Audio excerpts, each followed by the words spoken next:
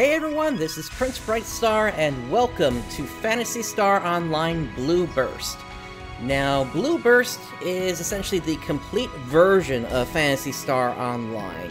Uh, Phantasy Star Online is a game I have a very long history with. Um, ever since it first came out uh, in the West, uh, and then with subsequent versions, uh, me essentially importing from Japan and we're basically now at the point where the official servers are offline.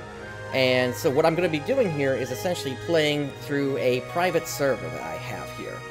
And we're just going to hop right into this here. I have a ton of stories to bring up as we kind of go through the series here. But let's go ahead and log in.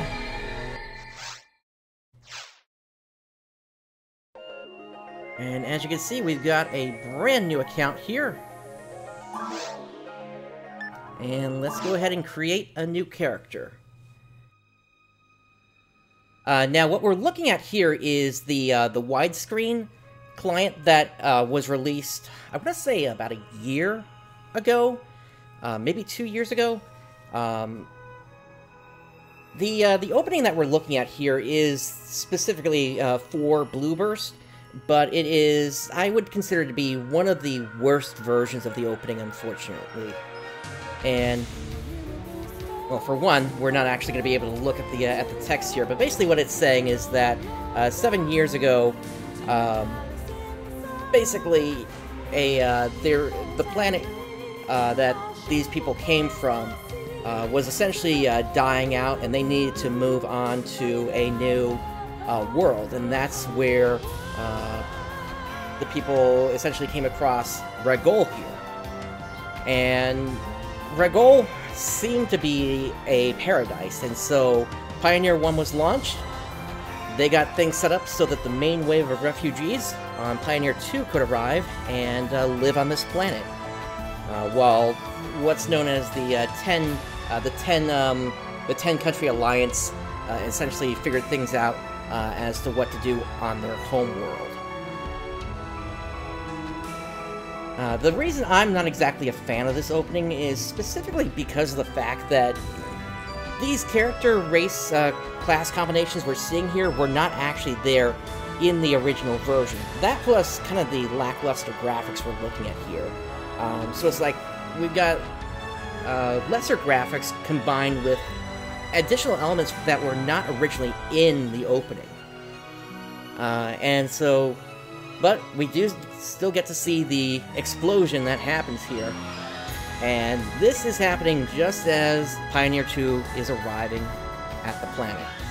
And so, all contact has been lost with the men and women of Pioneer 1, and now it is up to basically the people of Pioneer 2 to figure out what's happened or specifically, the government as well as the hunters.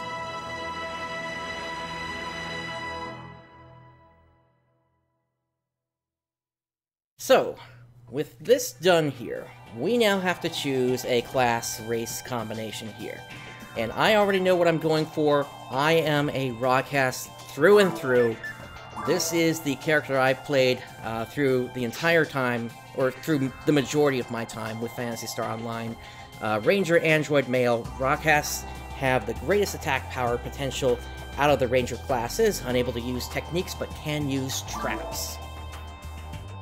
So, I'm going to keep the default head, body, I'm switching to this one.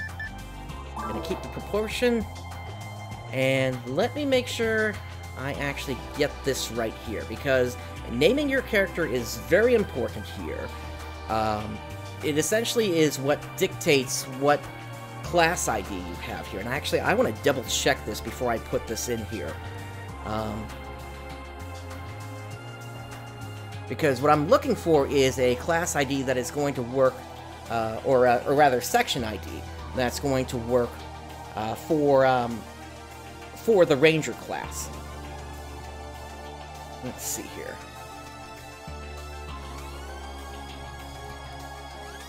and I'm trying to hit what's called uh, the Greenill one. Um, if I was playing a, uh, a, hunter, then I would look for uh, uh, Bluefull, but I'm looking for green Greenill. Yes, this should be it. There it goes. Okay, so we've got the Greenill section ID. This means we're going to have a higher chance of collecting uh, ranger-based weapons, specifically rifles, but there are other ones available as well. Um, let's go ahead and log in. And so here we are uh, on the server. This is running locally for me. Um, and what I need to do first is I need to change how I move around because the way that this is set up does not work for me at all. So, map direction, set it to non-fixed. Uh, keyboard controls, we do want that on, but we do want the keyboard config. We're gonna set that there, and now Q, E, and that goes to F, that goes to W. Okay. Message speed, and we'll set the auto disconnect. Shouldn't need to touch that at all, but at this point now, I'm all set to go here. So, this is essentially the online lobby for Phantasy Star Online, and once once you're actually logged in, um, you'll see this, but depending upon how full a block is, uh, you'll uh, you may get put into other blocks here. Um, and basically, there are 15 lobbies available.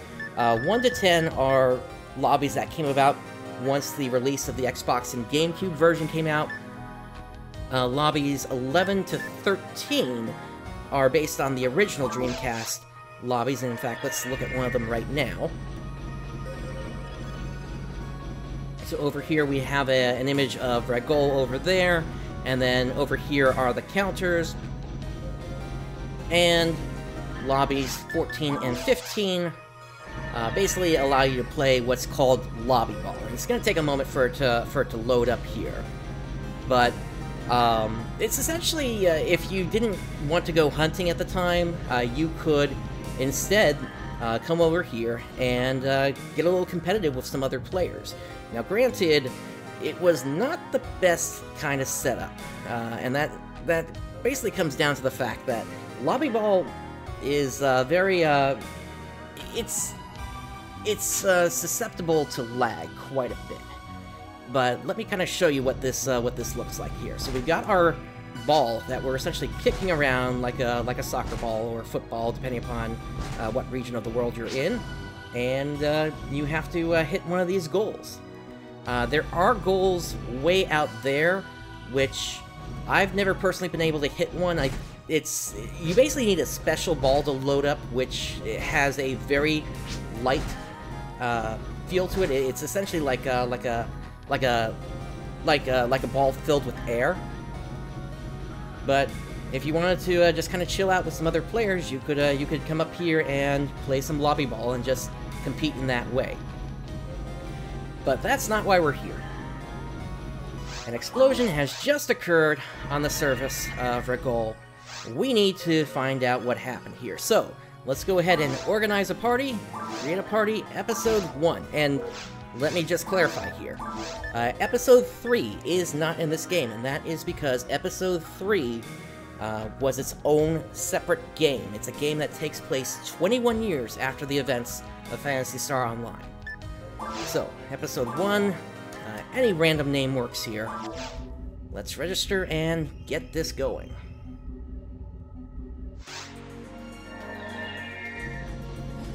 Alright, so, here we have the Hunters Guild, and basically, uh, if we wanted to take on a mission, uh, we would speak to this counter assistant here. Now, in this particular case, um, I'm actually realizing that uh, I should have actually started this in what's called one-player mode here, because there's a there's a specific quest that I want to uh, start with here, and that is the um, the battle training mission. Because uh, the game kind of really goes into really how to play, how to do hunting, and uh, things like that in this uh, in this first mission. And then once we're done with that, then we'll kind of jump into uh, jump into the main story here. So battle training uh, from the client Zidd. Please find a hunter and bring him back. He went down to Ragol for a quest.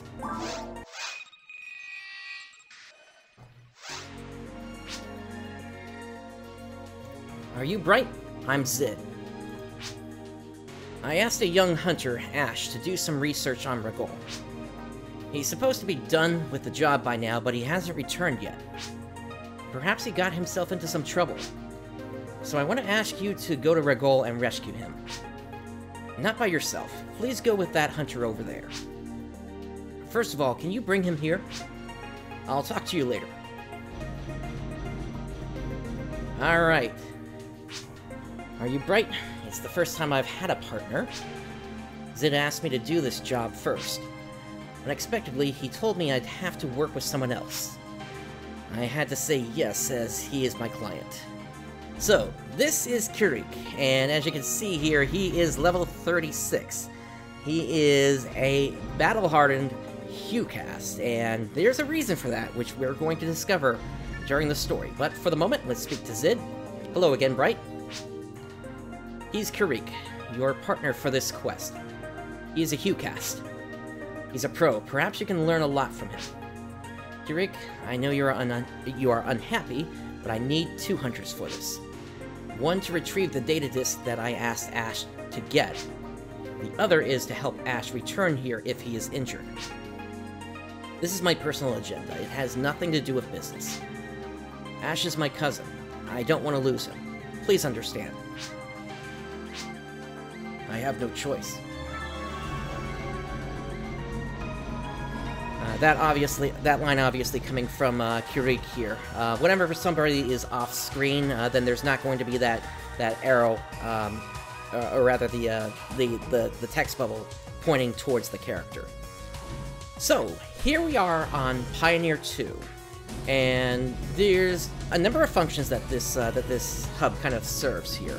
Over here we have the medical center, and so anytime you need to heal up, uh, you can just come over here, and they'll get you uh, they'll get you all fixed up here.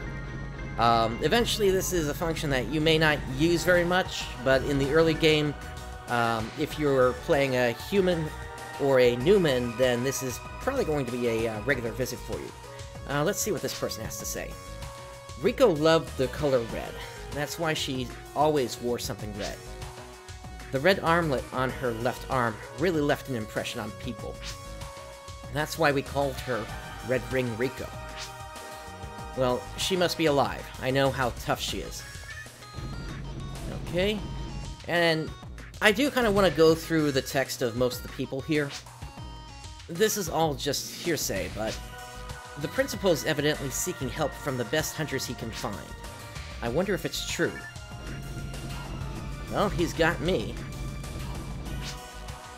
The explosion occurred just after our landing announcement.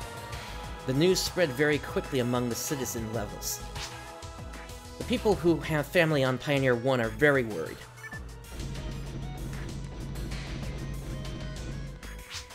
Tell me, tell me! What happened? Where are they? We have no info at all.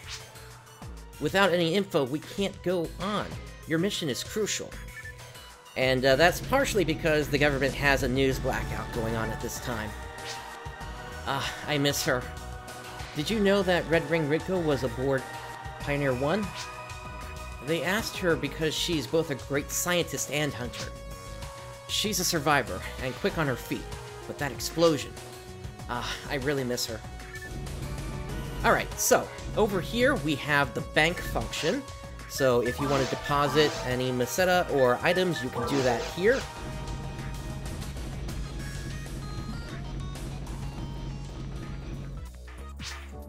Have you met the Tekkers? To discover the true power of an unknown item, they must examine it. But you can't always believe them. Each Tekker has their own specialty. Oh, don't I know that. uh, you're gonna learn in time here that these guys, mm, sometimes they need to reevaluate things after you first show them an item. Um, basically, anytime we come across an unknown item, it's their job to take a look at that item and essentially identify it. Uh, right here we have the weapon shop, uh, and I don't see anything that we need right now. Here we have the armor shop. Uh, once again, don't have anything that we need right now. Uh, yes, rooks. Uh, that is one of the uh, one of the differences. Um, in the original Phantasy Star Online, if you happen to die, um, you would drop your Meseta and weapon, and that did lead to some griefing by other players online. Uh, so here we have the item shop, and here there is an item that I do want to pick up. I'm going to spend all my Meseta, because I want to get as many of these as I possibly can. And the reason for that is, aside from what we see on my character, there's also um, a little thing floating on my shoulder, or at least we're going to see that in just a moment. Uh, let's see what these two guards have to say. This area is for A-rank hunters who take part in critical missions. It is isolated from other areas for security reasons. Take this teleporter for instance. It has direct access to Ragol. But access is restricted.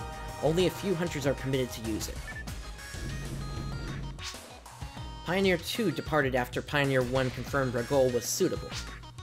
Because of Pioneer 1's report, we only brought a small army. Did we take too big a risk? So yes, indeed, the uh, size of the army is limited, and so the government essentially is having to farm out the work uh, to the Hunters Guild. So let's head on down to Ragol in the forest. Alright, so here is that little floating thing I was telling you about a moment ago.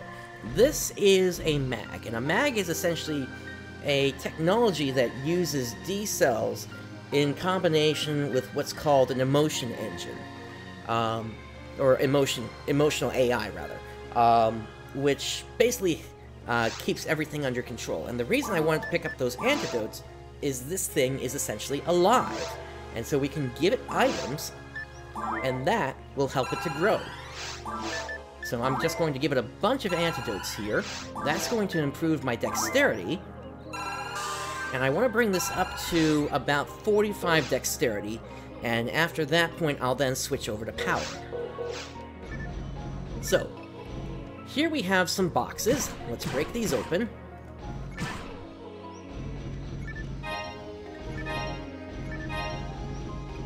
Anti-paralysis and antidote we really can't use since we don't get affected by status effects like humans and Newmans do.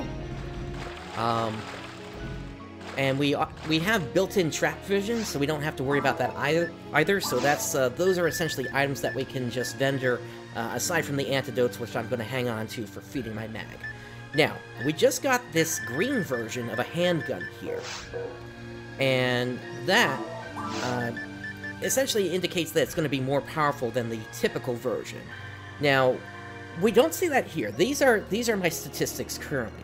We don't see it here, but where we do see it is right here, where we have these four uh, types here native, A Beast, Machine, and Dark. Those represent the four types of enemies that you can encounter in the game. And so, this particular version of the handgun has a 10% boost to native creatures and 5% to A Beast or Altered Beast.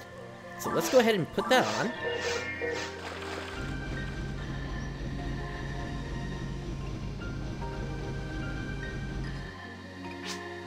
Prepare yourselves for the savage creatures of Ragol. If you're close enough, a cursor shows you which enemy you can attack. Don't let them surround you. Indeed, and there's one more thing that we need to do before we get started here, and that is we need to go over uh, to Customize here in the menu. Customize allows us to change what's on the action menu. Now, I keep my character set up a specific way here. Um, what we have here is attack. A standard attack has high accuracy but low damage. Heavy attack, a stronger attack but with lower accuracy. And then this here is extra attack. It's not showing right now, uh, but it's uh, but it is something that's going to come up eventually. Uh, yes, Rooks. Um, that is that is that is in fact true. This is um, what's playing out right now is a series of events that happened before uh, Phantasy Star Portable 2 came along and essentially retconned almost the entirety of the Phantasy Star Online series, although there is also still some question of canonicity with that. Uh, it was never actually officially confirmed that that um, is the real fate of what happens. Uh, now, before we go here, though, uh, we also have this back row, but I'm not going to be using that. And the reason is when it comes to your cast characters, you don't need to use them. I'm going to go over here, and where we have this monomate, I'm going to push the number 1. And then here is the dimate, number 2, 3, 4, 5, 6, 7, 8, 9, 0. This one here is specific for battle mode, so we're not going to need that. So all the actions that we're that we could possibly need in this series, uh, I have now taken care of, and you can now see them all spread out down at the bottom.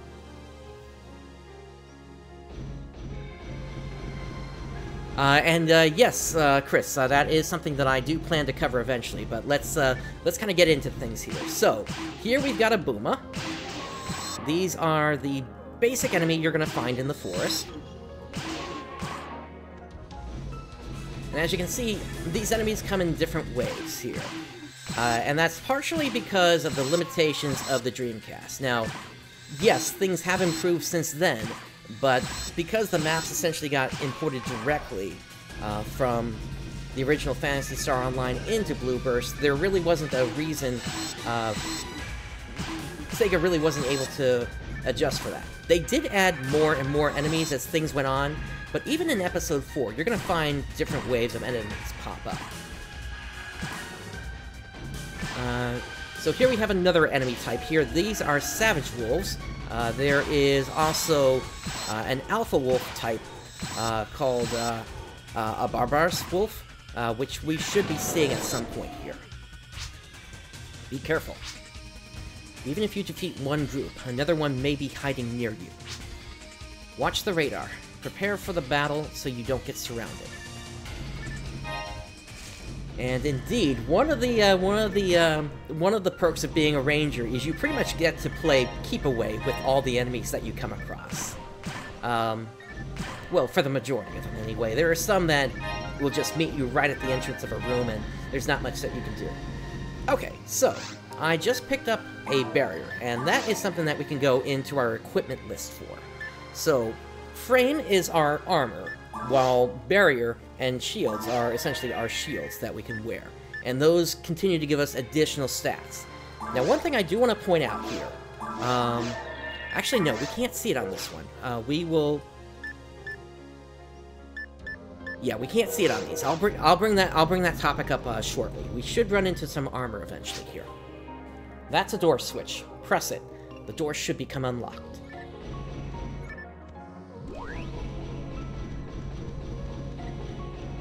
Okay. Now, one of the cool things that I love about Blue Burst is the fact that you also have the ability to control your camera. Uh, so you have the ability, if you wanted to, you could always put it into uh, Endless Nightmare mode. Or, you can uh, actually zoom the camera out further than you ever were able pos uh, that than it was ever able that you could ever do before. So what we've got here is a Monest. This is another enemy type from this area. And basically that is a hive that is uh, spitting out uh, these little guys here, these Mothmants. And as you can see, uh, Kirika is just going to town on that thing, so that'll help to bring it down faster. There we go. Now, one of the unique things about this is there is a delay behind how this thing goes down. And so, uh, the next wave will still take a few seconds even after you kill it. Um, and you're going to find that most noticeable with that particular uh, Monest there.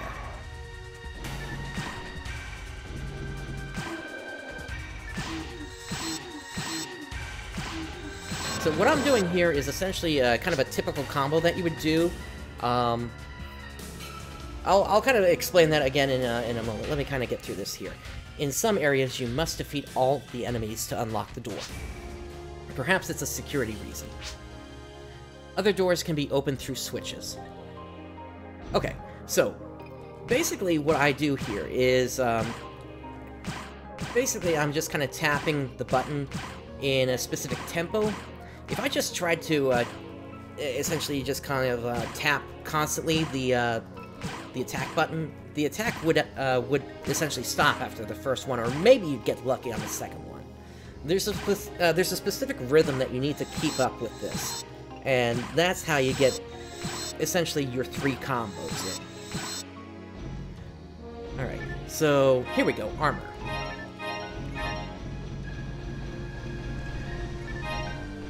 And we've also picked up a, a saber. Actually, two sabers at this point. Let's go to the armor here first. So, one thing about armor and shields in this game, and also with weapons, is you need specific statistics. When it comes to armor and shields, you need to be a specific level to use them. While when it comes to uh, weapons, you need to have uh, specific either attack power or defense power or mental power uh, to uh, be able to use them. Um, now, for uh, HuCast, uh, or rather for hunters and rangers, they can't use force weapons, so that really doesn't even matter here. But one thing about being a ranger is you're technically a more useful hunter. And that's just because you have a higher rate to hit than even your best hunters would have. And so that's why Sometimes you'll find rangers that run around with sabers or with partisans, another weapon type that we'll come across eventually. Arms and protectors have attributes.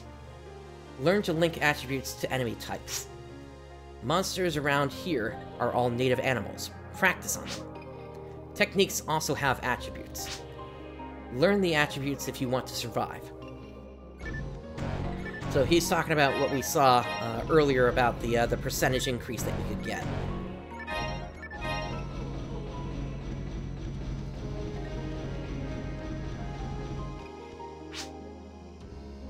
If you're with your teammates, they'll watch your back. If you're alone, try to change the view often to look around. Uh, let's see here.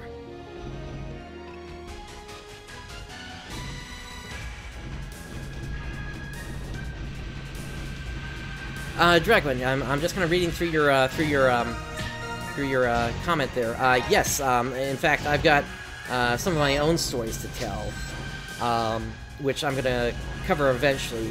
Um, but uh, certainly, if you're interested in any, if if you're interested at all uh, with uh, really any aspect of Phantasy Star, uh, PSO World is one of the uh, one of the biggest sources out there.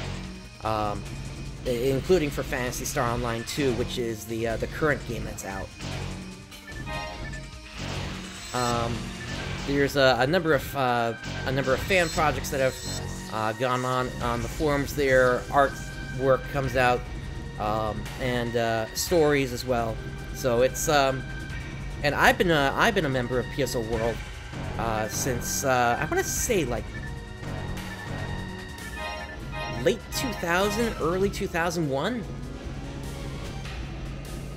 And the uh, the person that coded the uh, the server that I'm using here, oh, that's a hit. Um, uh, they are called Soda Boy, but I know them from PSO World as Watashiwa. Um, so I've known them for uh, for a very long time. What's wrong? Is it difficult to hit the enemies? Uh, no problem.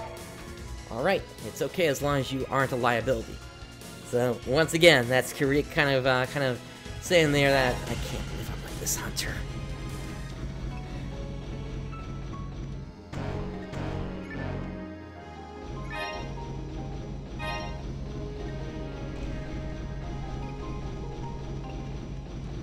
Um, so, it's been quite a while since we fed the mag, so I do want to feed it again here. Typically, when it comes to mags, uh, you can feed them one. Uh, you can feed them three times every four and a half to five minutes or so. Um, there are timers that you can use that can help with the leveling process, and that's probably something that I will employ at some point during this series as well. Uh, but just for the sake of the first episode, I didn't want to have something ringing every five minutes here. And that's also partially why I'm running my own uh, server here.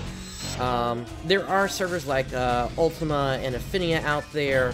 Uh, in fact, Soda Boy is uh, the one that uh, does the development on uh. Uh, the server I'm running is essentially an older version of the server that Ephinea is based on. Uh, the reason I'm not playing on there uh, is simply because uh, there's uh, basically I did not want to have uh, text constantly scrolling across my screen uh, whenever players found rare weapons in different games. I didn't want to have that interrupting the show constantly. but there are certain functions that I simply cannot do with this server. For example, challenge mode. That I cannot uh, that was not finished at uh, at the time that this version of the server came out. So um, definitely, when it comes time to go through challenge mode, that is probably something that we will uh, go to Ephinea for. Uh, so here we've got Rag Rappies. Uh, Rappies are throughout the Phantasy Star universe. Um, and all the different dimensions and everything, they're they're just everywhere. They they are essentially the mascot of the series. And as is in typical fashion, uh, they will fall down for a while, and then... Uh, sometimes it takes a few more seconds than, uh, than you intend. Oh, and there we go. Uh, eventually they get up. Here's a simple battle tip. Be mindful of the colors during the battle. The cursor color above the enemy is a hint on how to attack an enemy. Alright, and I know he's going to go more in detail uh, with that in just a moment here. I just want to break all the boxes here first before we continue. Because at this point, Meseta is uh, an important thing, but once you hit about level 50 or so, you're not going to worry about Meseta at all uh, in this game. And that's that I think is kind of one of the flaws that happened with this game, is essentially the money became worthless too quickly. Uh, Sega definitely fixed it up uh, with Phantasy Star Universe, at least until a lot of it got distributed. Uh, right, look at the action palette. See the outline colors? Notice that the that the cursor color has a matching action palette color. So a red cursor means press the red action palette key button. Got it? So this is uh, something that's actually not going to come into play for me just simply by the fact that I am a cast. This is something that's going to be more if you're a human or a Newman, uh, whereby you have the ability to use both weapons and techniques. Uh, techniques uh, essentially being the standard spells of the game.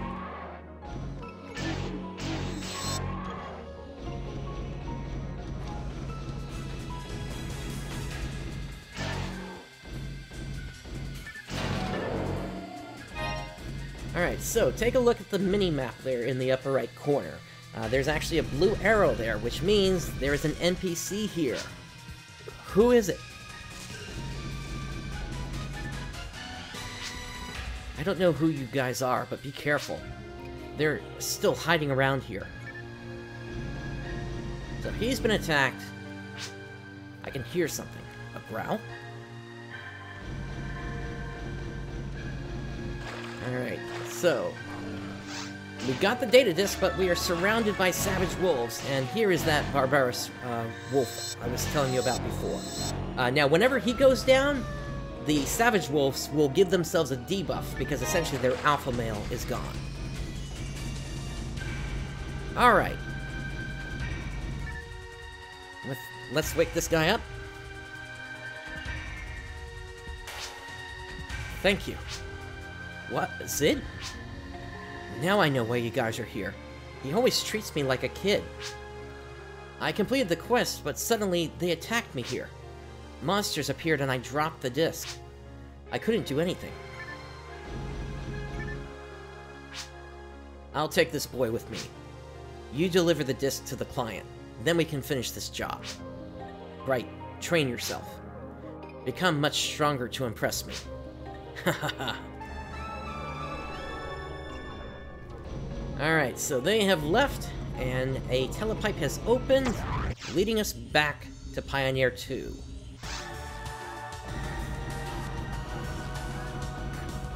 So, what I want to do at this point is I want to visit the shop. Actually, first, let me get my items in order here, because we have some selling to do. So... We can actually keep that saber, and then... We'll keep the two bottom handguns. And as for the armor... Oh, wow, we got a three-slot armor here. Okay, so slots...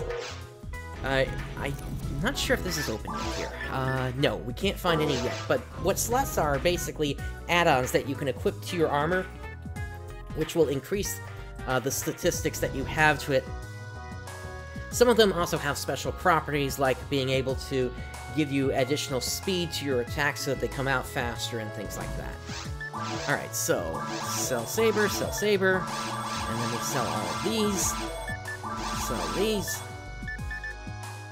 get rid of the zero slot one, lose the mono or mono fluids rather, that's specifically for technical points, which we can't use, lose the anti-paralysis, and the trap vision. And now we'll stock up on antidotes. And I believe it's feeding time again. Uh, now, the Synchro and IQ, those are going to come into play eventually here. Uh, once this little guy has kind of grown up a little bit. Uh, but for the moment, let's go ahead and grab some more antidotes now.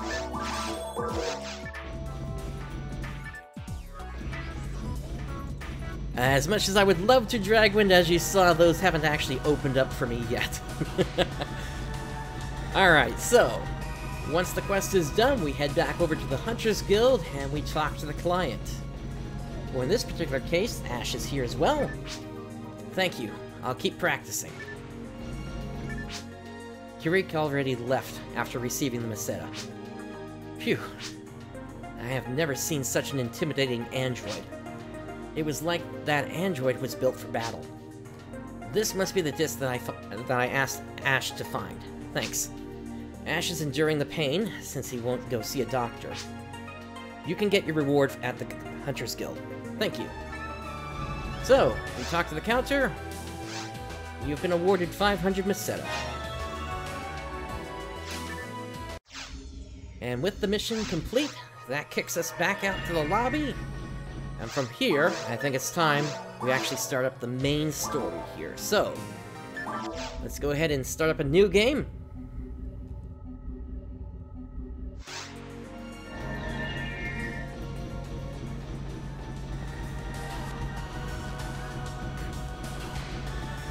And so, for players that started with uh, the Dreamcast and GameCube version, and I think maybe the Xbox version, I'm not 100% certain on that.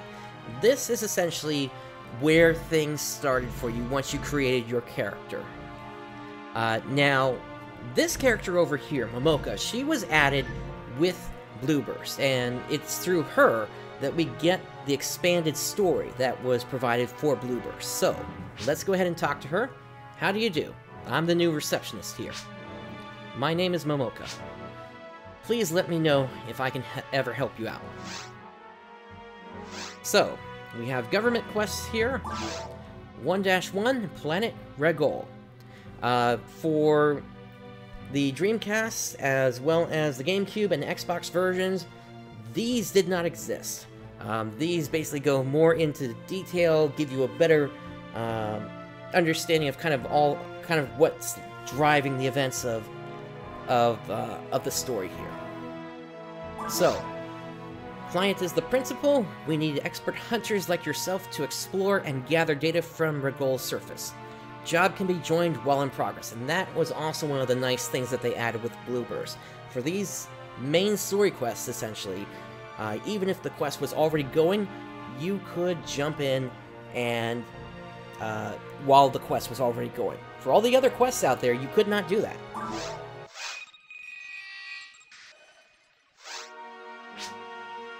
Are you Bright, the Ranger? I'm Principal Tyrel. We have a bad situation. We need to act quickly. Did you hear about the explosion on Ragol? Very well. Pay attention and listen to me. We've lost contact with Pioneer 1. We have no idea what has happened. We've sent probes, but communication always gets cut off near the surface. What happened on Ragol and Pioneer 1? Are the people still alive? The Council made a decision to send a manned search team. You're a skilled ranger. We need your help.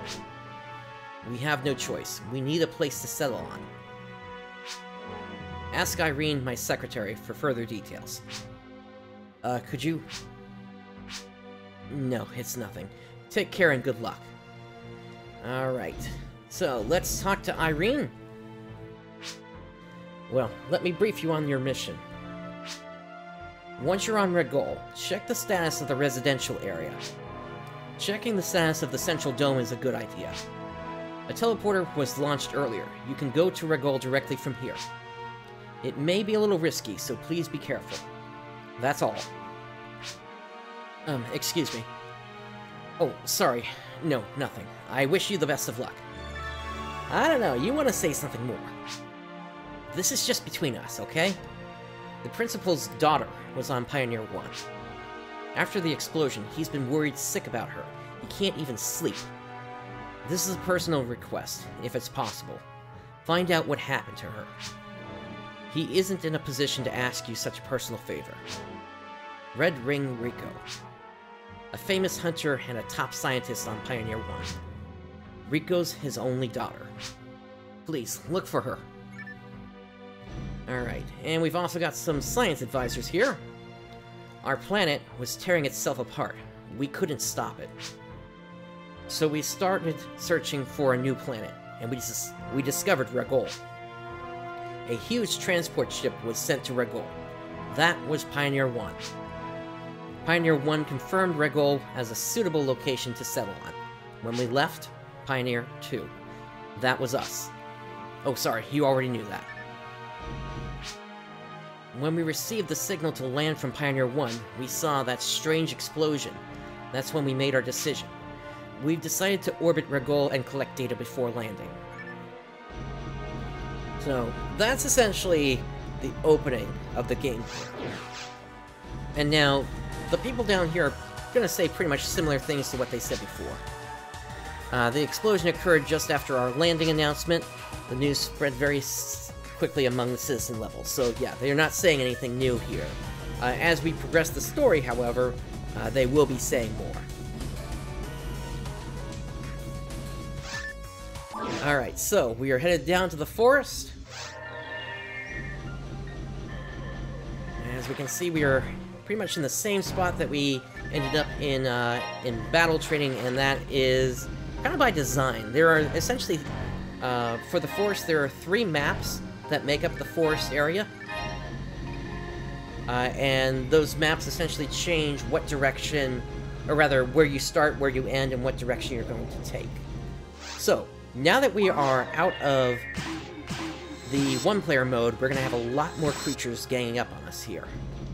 So, I think it's time for me to show you the traps that I have. So, let me launch a confusion trap and a damage trap.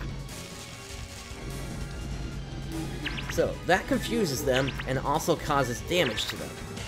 And confusion makes them attack themselves.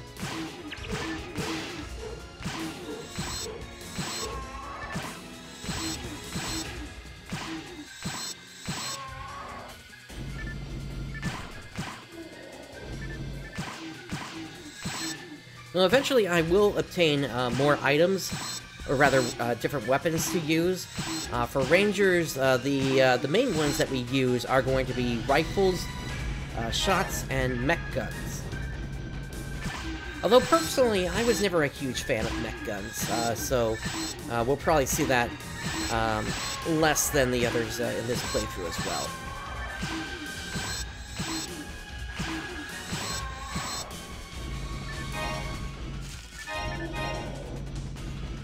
Alright, we got a set of six coming in. Let's do a similar plan as before. Confusion and damage. Oh, actually, that was, uh... That was freeze I popped there, not damage.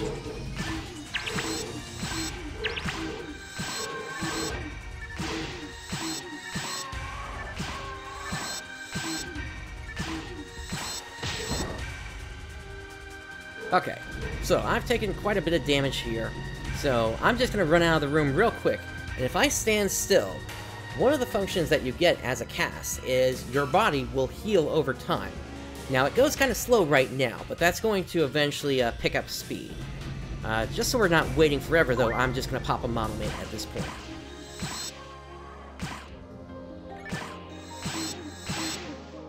Uh, when it comes to uh, Newman characters, uh, you get uh, technical points instead uh, as your automatic recovery.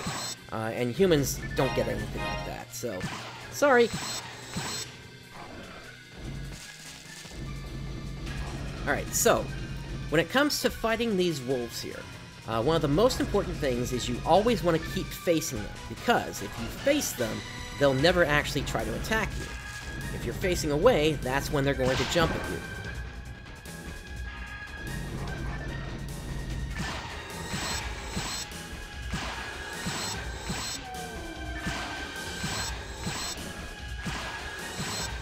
Now the other thing I will note is that sometimes they can kind of be a little off on their aim, so even though they are kind of jumping at you, and even though they are touching your character, uh, it won't actually do any damage. Uh, kind of like what, just happened there.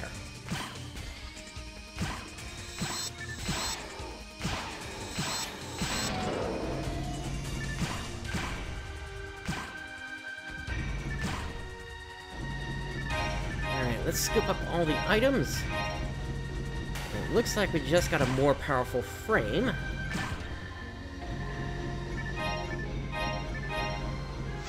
So let's see what we got here. That gives us an extra two defense points and two evasion points.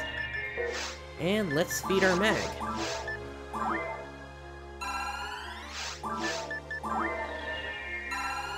Okay, so my mag just hit level 10, and so because of that, it has evolved into a new creature, and this has now opened up what are called Photon Blasts. Uh, right now we only have one Photon Blast available to us, uh, this is Estlla, but uh, it will eventually, uh, will eventually have uh, three of them available.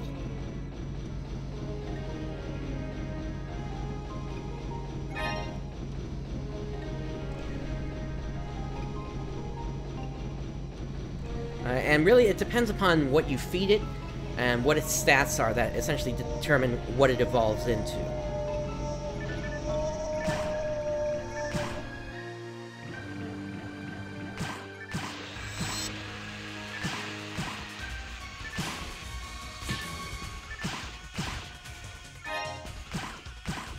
Where did that last one go?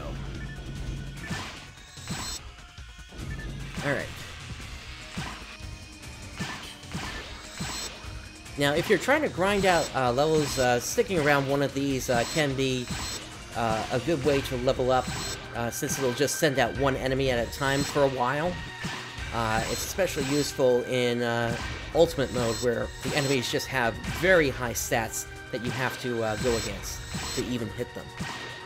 although that was kind of kind of tuned back compared to what you got out of version 2 on the Dreamcast. Uh, Phantasy Star Online uh, version 2 was actually very hard to start off with uh, if you didn't have any uh, hit weapons. And even then, uh, pretty much the only way you were going to make any progress in that was to get your first, what's called a red weapon. Uh, but that's, that's specifically a rare drop that comes up. And we're not going to see any of those for a long time.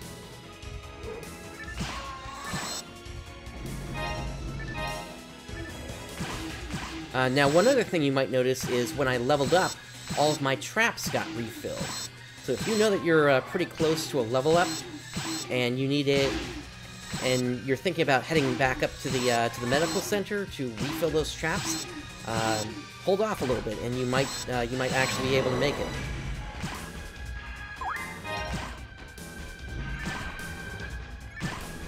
And that is one of the functions that the medical center uh, does provide uh, for uh, for cast characters as well.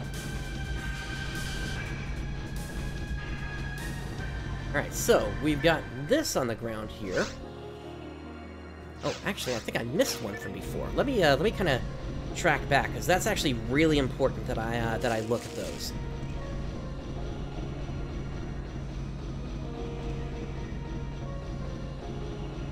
because uh, this is this kind of is how the story of uh, Phantasy Star Online is also told through these uh, through these capsules on the ground.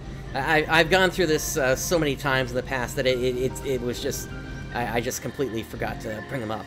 All right, ah, testing, testing. I'm Rico, Rico Tyrel. I'm a hunter. This capsule is for anyone who has come here looking for me. I hope this helps you. I don't know who you are, but you must know that there's something unusual about Ragol. This is important. Pay attention to everything around you if you want to survive.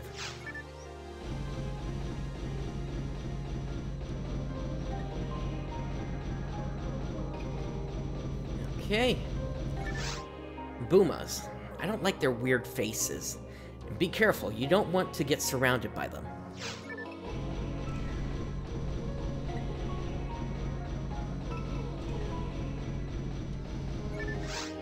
Red gates are locked. Green means they're open.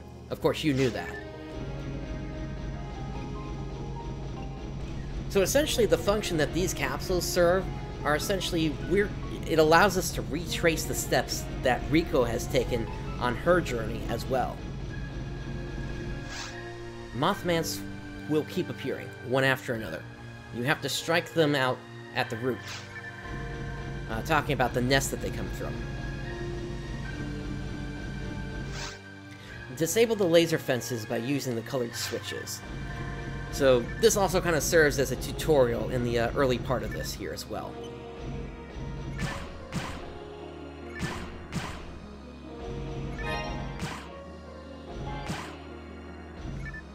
Okay, Resta. Once again, we're a cast, so we won't be able to use any techniques. Uh, so that is something that will get vendored for, uh, for antidote money.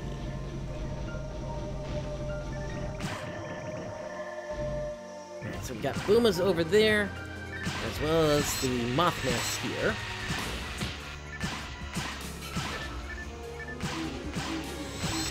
It looks like that one got stuck in the tree there.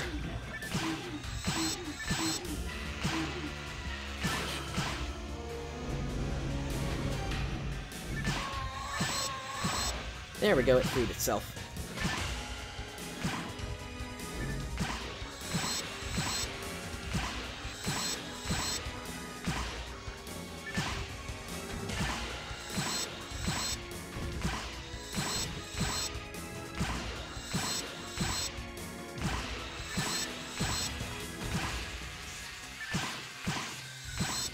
Now, something kind of funny about Blue Burst and the fact that you can use a keyboard. Um, I'm not entirely sure about this for version 2 on the on the PC, uh, but uh, you can kind of do a little dance here if you wanted to as well. It's, it's just something silly.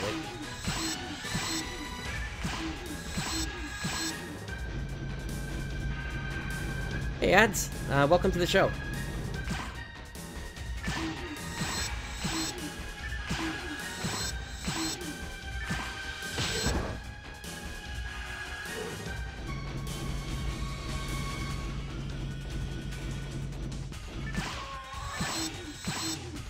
Now, what I should receive uh, as we start to finish up the forest area, but that's uh, it's still going to take a while to get there.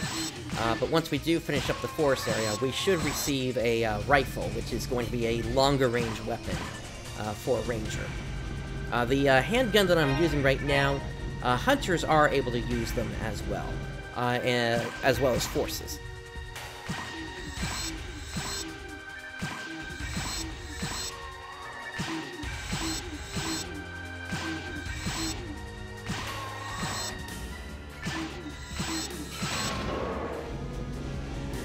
Get this gate open.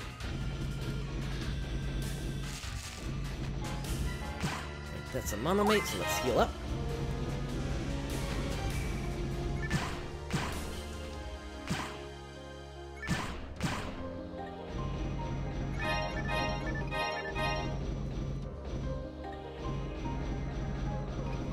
And it's probably time to feed our mag.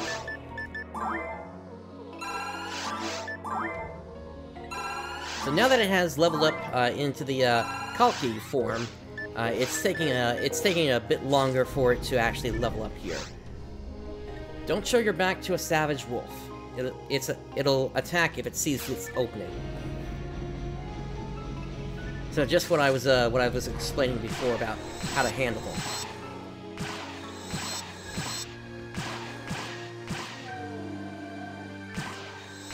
And this is also kind of one trick that you can do as a ranger, and this is one thing I will be taking full advantage of uh, during this series, is the fact that uh, rangers can sometimes play around with the AI of the game and essentially uh, attack enemies without allow uh, without them fighting back, essentially. You need a good amount of space to actually make it work, um, but it is something I will be taking full advantage of. This one's kind of close. And let's switch over to the saber, actually.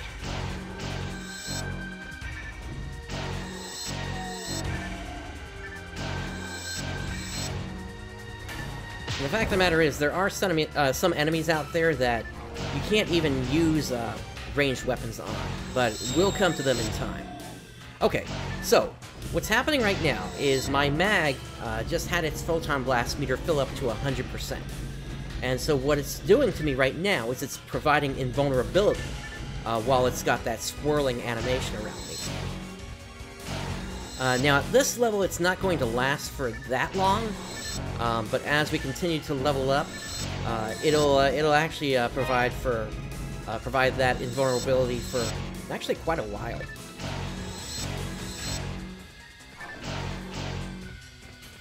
Yeah, so at this point it's already gone.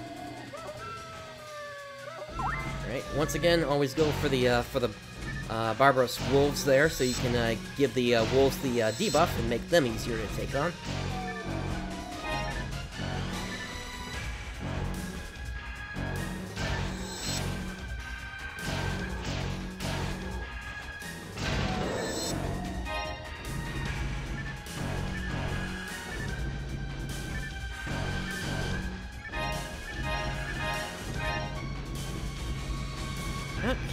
And moving on to the next section here.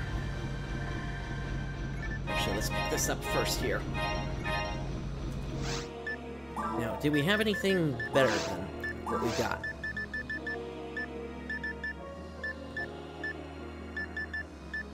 Looks like it's actually uh, worse with that frame.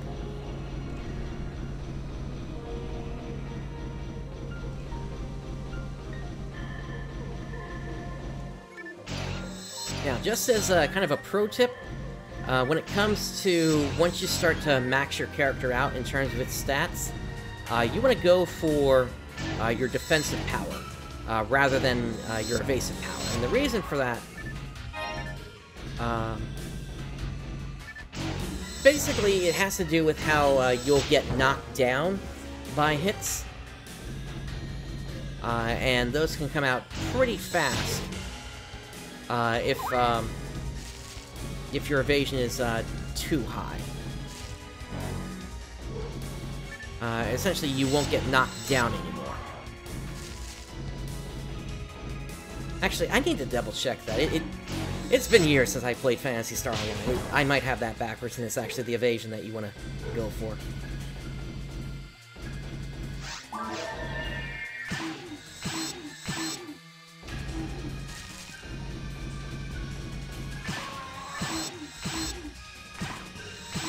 Uh, but that's gonna that's gonna be more a fact uh, once you really start to max your character out uh, at around uh, level 200 or so.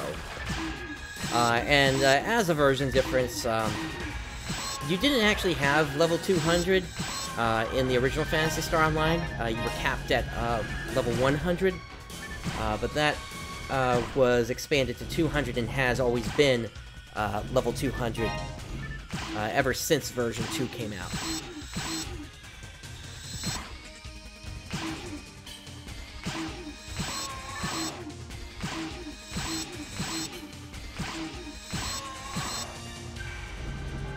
So at this point, we are full up on items. So we're going to pop a telepipe, and we're going to make our way back up to Pioneer 2.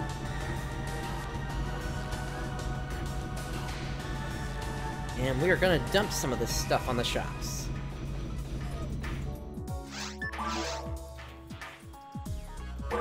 Actually, I should go ahead and sort that first, just to make it easier. Okay, so this seems like the best saber to have.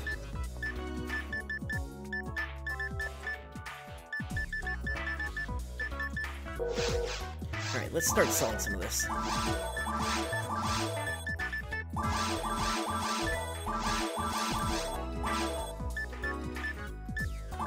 Three slot, I don't want to get rid of that. There's the mono fluid, there's Resta, get rid of the anti-paralysis. And let's fill up on antidotes again. So we can feed our mag. Now, monomates are the base healing item, dimates uh, are a stronger version, and then trimates are going to bring you full health no matter how far down you are.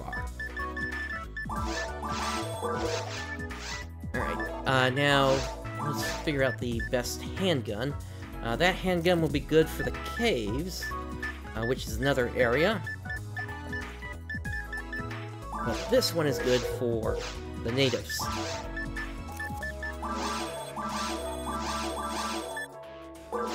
Okay, we should be all set. Uh, let me see if there are any units yet. Nope, not yet.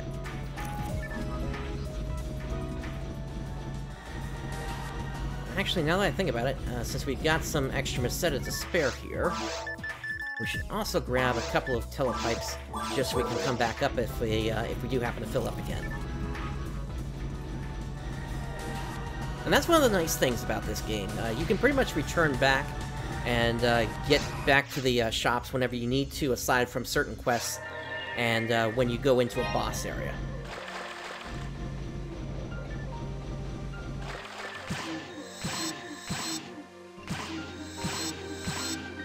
Uh, you can also do that in Phantasy Star Online too, of course, uh, but of course in that game, uh, if you've invested, um, you can expand your item pack from the base of 50 all the way up to 150 items, if you wanted to. Ragrappies are cowards, but they like to attack straight on. When a Ragrappy falls down, it may still be alive, so be careful. It is impossible to kill a Rappy in the Phantasy Star series. No joke. If you pay attention, uh, they just get up and run away, essentially.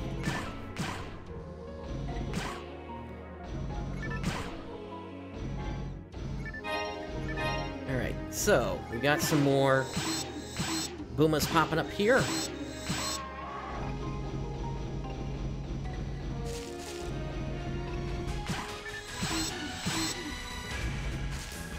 But, the teleporter to the next area is right here, so why don't we go ahead and hop right into there.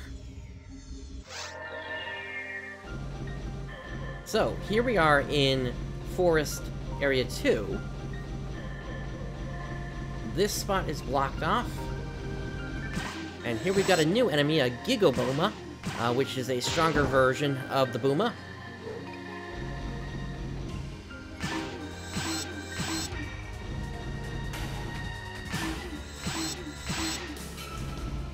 Now, one trick that I love, uh, given the setup that I have for my uh, for my palette here, is I can basically run through these enemies without having to worry about uh, essentially getting a stun locked here. and um, if I kind of move close to them like that, see how I kind of put my uh, put my gun into the air a little bit there.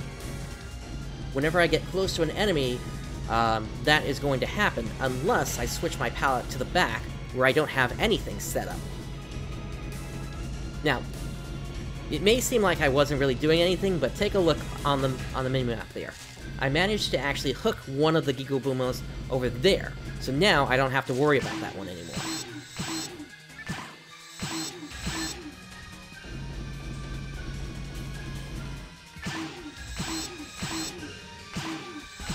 And that that's a trick that really only works in this game simply because of how the AI was, desi uh, was designed. Uh, with most modern MMOs, you're not going to find that kind of thing working.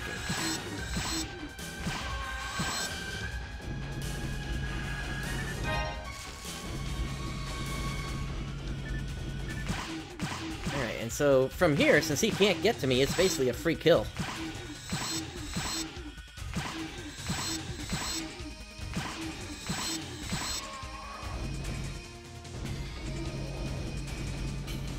So I think for this round, let me break out the confusion.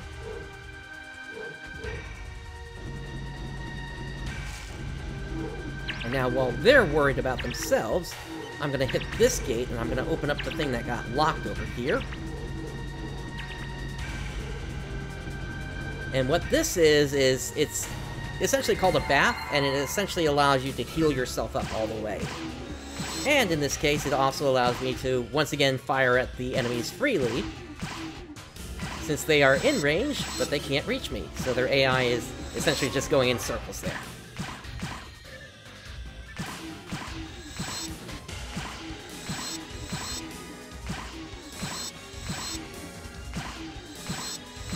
So, being a ranger in this game really requires you to kind of know the environment, look around, see what you've got to work with, and get the enemies hooked up uh, wherever you can so that they essentially can't even reach you. Alright, level 4, and that's actually perfect timing here. So now, we can put on that armor. And so, what we got here now are these three slots. Uh, those are the slots that are on this armor. You can have up to four of them. And in here you can put on those uh, those uh, status boosters like I was describing before. Let's also uh, get the shield on.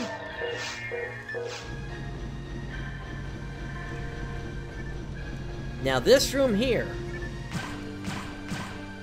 the item boxes are lined up like this. It has gone dark.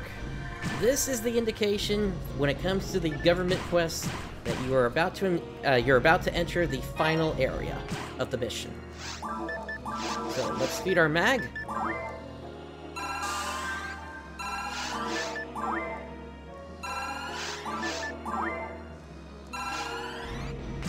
And uh, once you get the third one in, you don't have to wait for the bar to fill up. Uh, it's only with the first two instances of that that you have to wait. Uh, you can just uh, hit home or whatever button lets you out of the menu to uh, get out of that.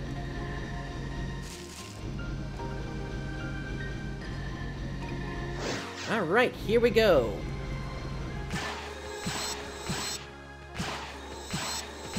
Now we're gonna have a bunch of wolves here, as we can see. And essentially, uh, the end of these missions are uh, very similar in nature to uh, what are called uh, the Endless Nightmare quests, uh, except uh, you don't get your camera put behind you.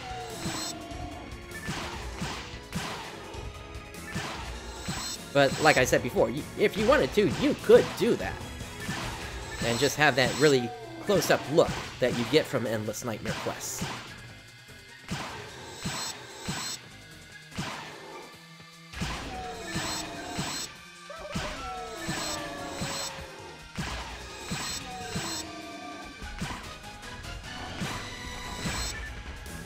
Alright, we're getting surrounded. Let me pop a, uh, a trap.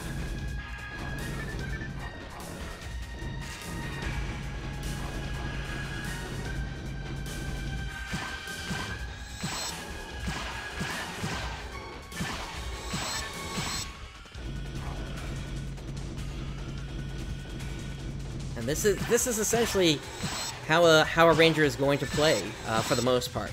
Uh, there are certain weapons that uh, you can, of course, try to hunt for, which is going to make your gameplay very, very different. Uh, for example, the frozen shooter is one of the best weapons that a ranger can have, hands down. And it's because it has a high chance to freeze an enemy in place.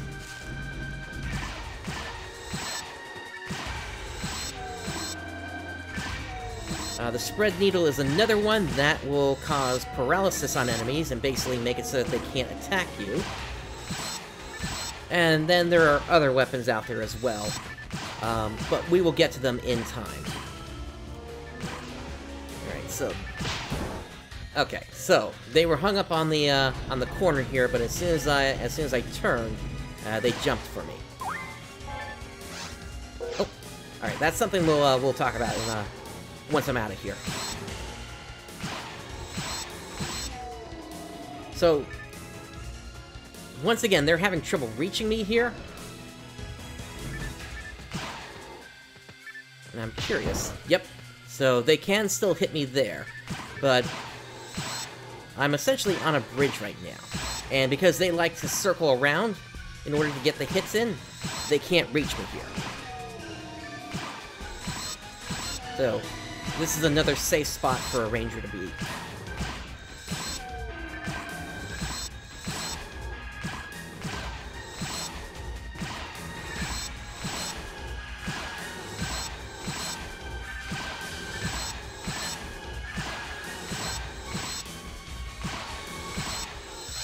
Alright, let me grab my saber at this point here.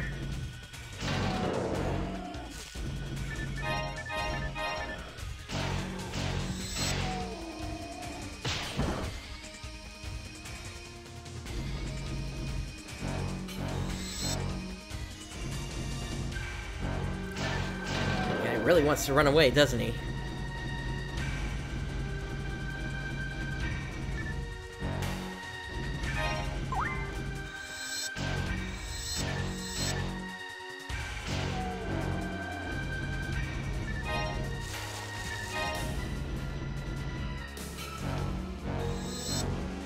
Alright, there's another of the uh, Barbarous Wolves, so let's go after it first to uh, debuff the Savage Wolf.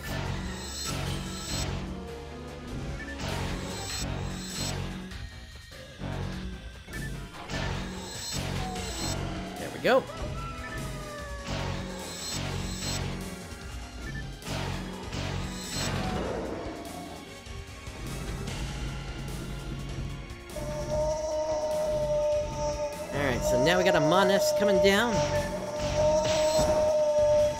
Actually, two of them. Okay, so... Once again, our Photon Blast has filled up, so I think this is a good time to take advantage. If I was pointing the right way, unfortunately. Maybe this will still hit something. So it got a couple of hits in there. Uh, but, yeah, Photon Blasts are uh, basically really powerful attacks that uh, will let you uh, get uh, a really good hit in on uh, enemies.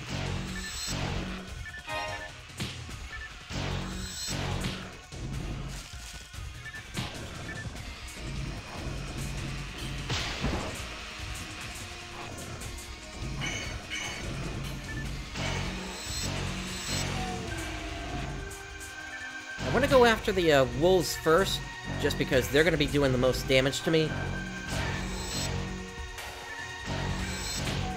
Those Monest are, or uh, Mothmants are really only going to do like one or two uh, HP uh, per attack to me. There we go.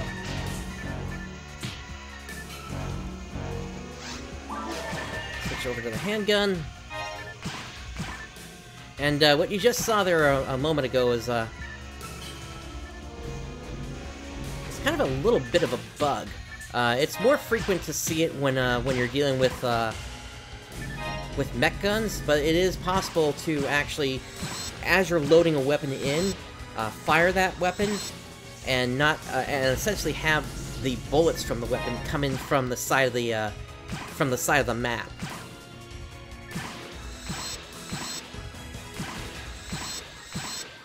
But once again, that's just as the weapon is loading in. It's not something that continues to happen through the whole thing.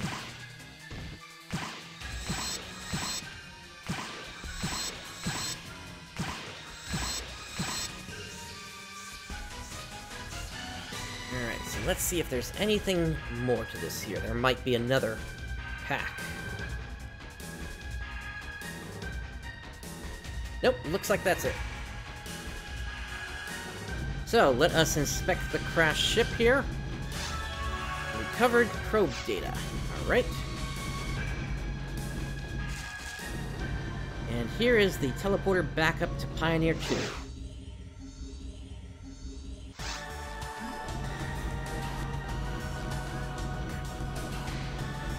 Alright, so let us speak with the principal. Actually, before I forget, antidote time.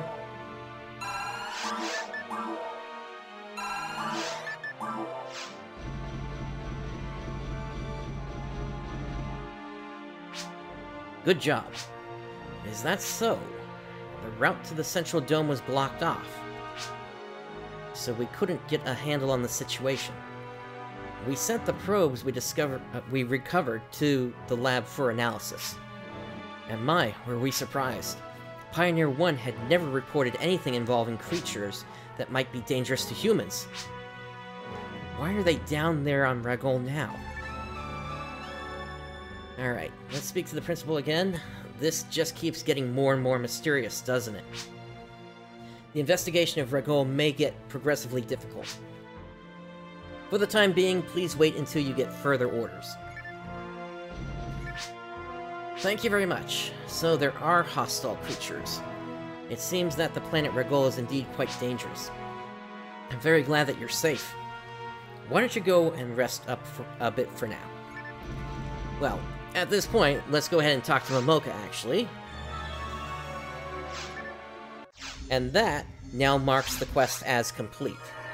So, up next we would have uh, the quest 1-2 available to us, uh, but we're not going to be looking at that right now. Uh, Koku Tana, yes, uh, this is uh, Blue Burst that I'm playing here. Uh, so, we're going to create another party here, and we're going to set this to one-person mode again here, because I want to continue with those side stories at this point here. So, we've completed battle training already, let's take a look at claiming a stake. Racton's son is the client. My father, Racton, has gone to claim land on Ragol. Find him.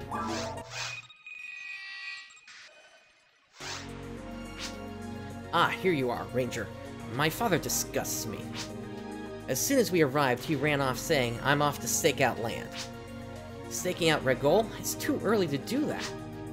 We don't know much about Ragol. It's dangerous. Please, find my father. Alright, and we've got another hunter here. Racton is a greedy man. He's so self-absorbed. But ironically, his son is a very good-natured man.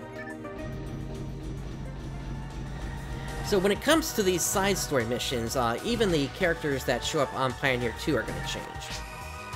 Racton? Oh yes, I saw him. He was fleeing from some monsters in the forest. Help him?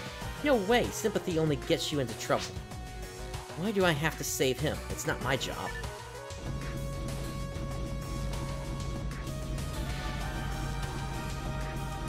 Okay, so, let's make our way over to the shop.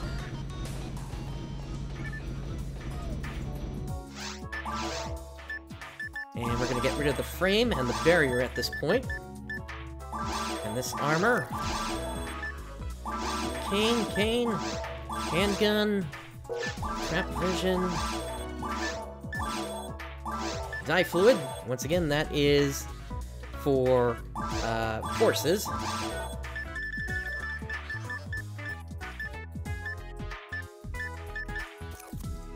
I had the wrong handgun on. Oh well. Let's uh, go ahead and equip the right one then.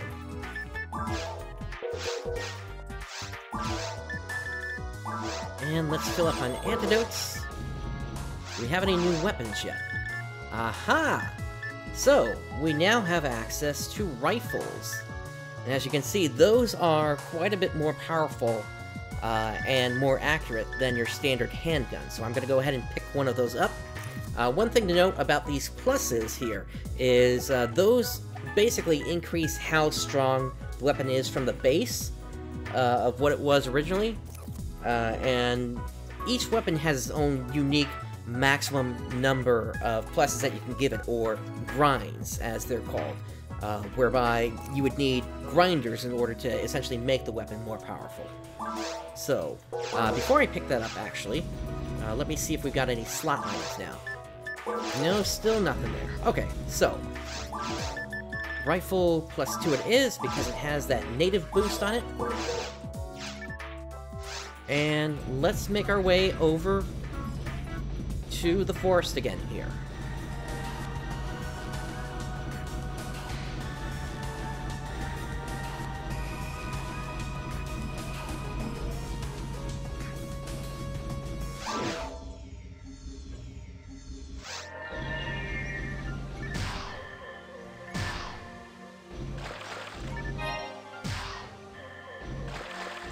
Now, in most cases, you're not going to find a rifle in the forest, uh, aside from the boss area.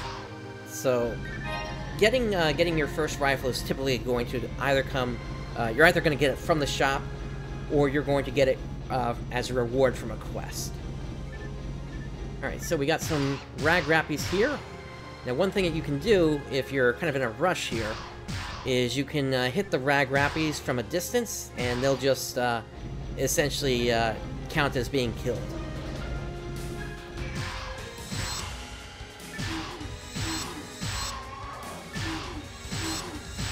There we go. Now the Boomas are going down pretty quick again, since we're in the uh, one-player mode.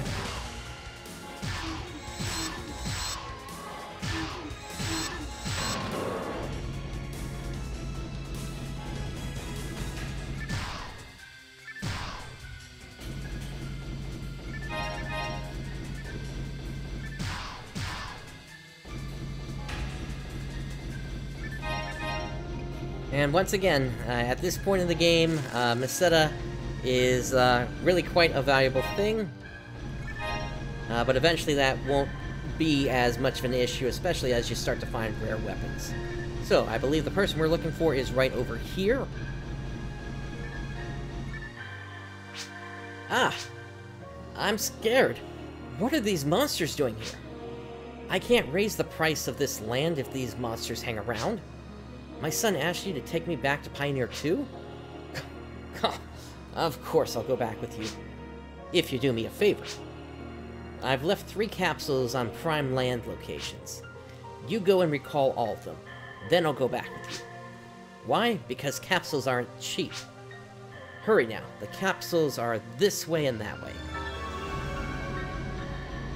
So, when you say this way and that way, you mean one of them is back where I started, right?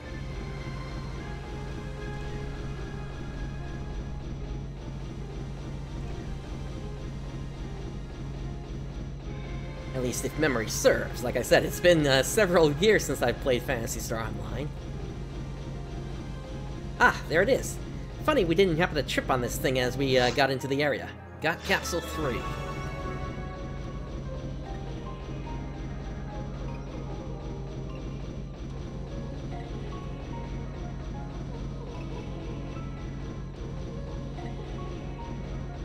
Now, the next one that we can uh, look for should be over on the gate to the right. So let's open up this door once we check out these boxes.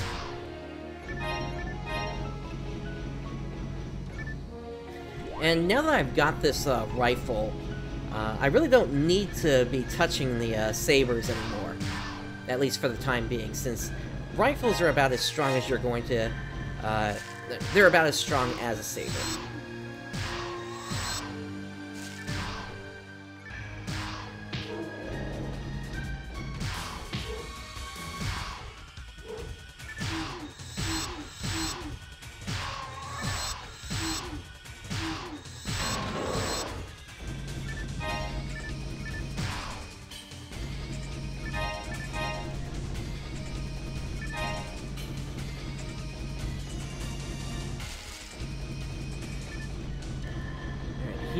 Is the first of the capsules.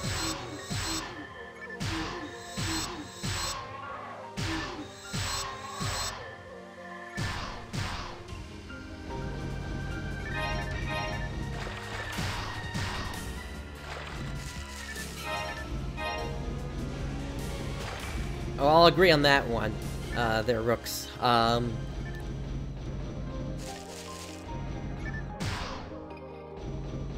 Although I, I haven't personally used one myself.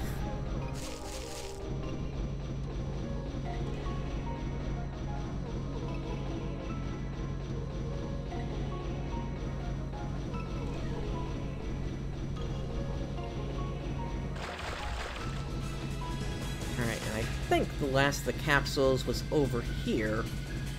But the door is locked, and since this is Phantasy Star Online Blue Burst, I cannot use a trick that was originally uh, that was available in the original version of Phantasy Star Online called the Door Walk.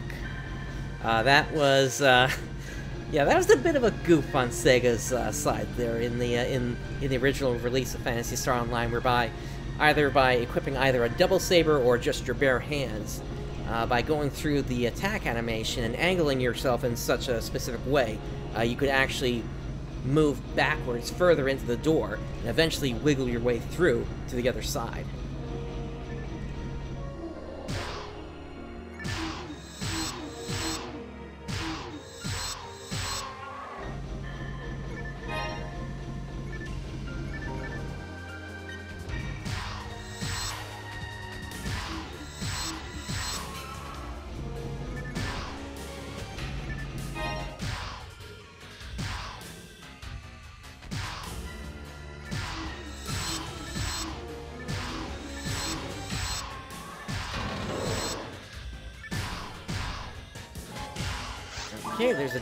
Antidote. Let's go ahead and feed our mag.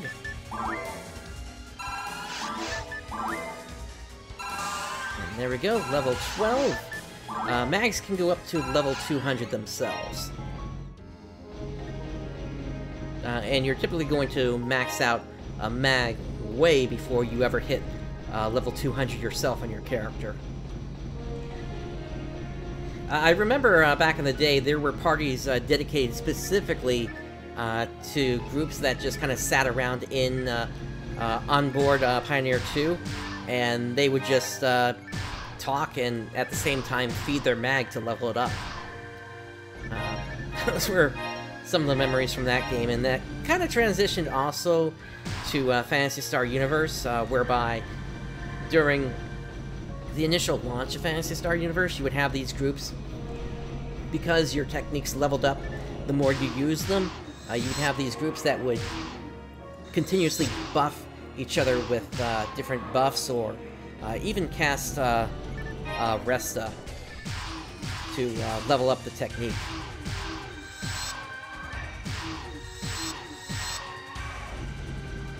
Uh, yes, I do remember that name. Um, it just kind of slipped my mind. Um, typically, uh, for me though, since I use uh, a mag toner, uh, I typically didn't have to be in one of those uh, one of those mag farm parties. Uh, parties.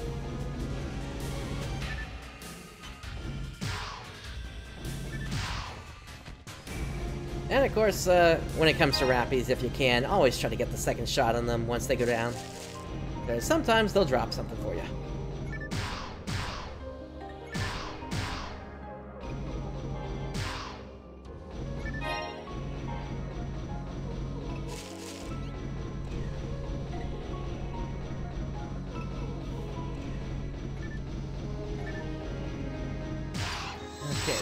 Should be the last of the capsules there.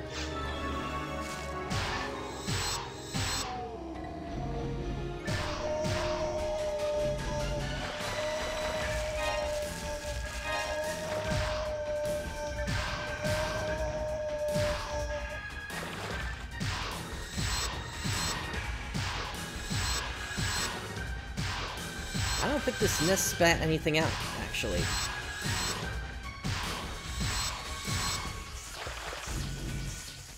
Kind of curious what happened there.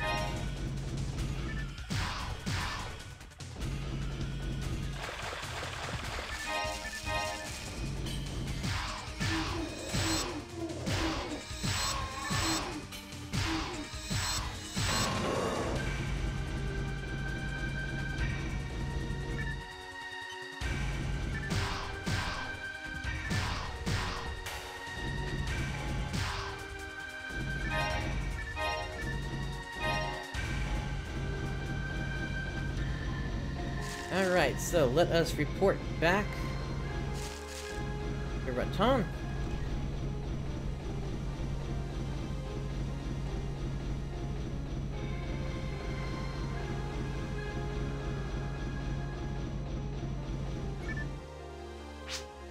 Hmm, you have all three capsules. Now, let's get out of this dangerous place. Hurry! Ah!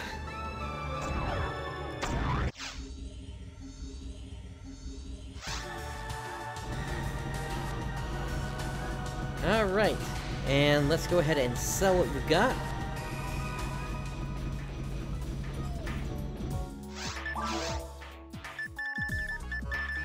So at this point... Yeah, so just using the uh, rifle I've got here, that's adding an additional uh, 24 points of damage. So actually, I don't even need these handguns anymore. And this is uh, this is basically where we can see how uh, rifles and uh, sabers are essentially very close in terms of how much damage they do. Uh, so just for comparison, uh, this saber is only doing one extra point of damage, uh, so it's not a uh, it's not a huge difference there.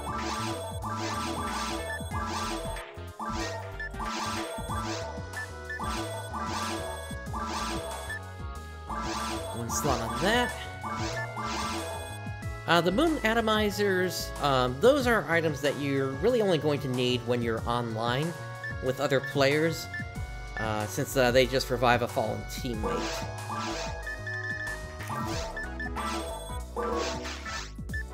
Let's see if we can get one more feeding here.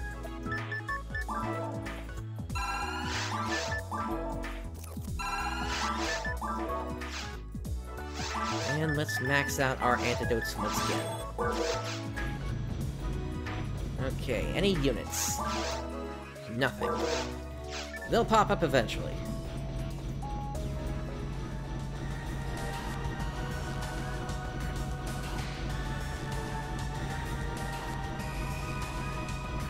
Alright, let us talk to our client.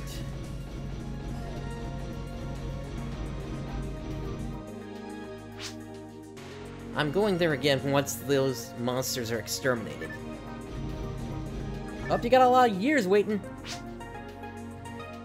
I'll make sure he doesn't cause any more trouble like this again. Please get your reward. Alright, so we got 700 Meseta out of that. And I think we have time for one more mission today. So, create a party, episode 1. One person mode.